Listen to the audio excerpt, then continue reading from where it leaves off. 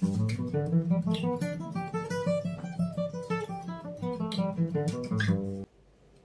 friend welcome to my YouTube channel guitar specialist room guys ये lesson है five notes scale G major three octave pentatonic scale इसमें fingers numbers tab और fret number and step notation mention है।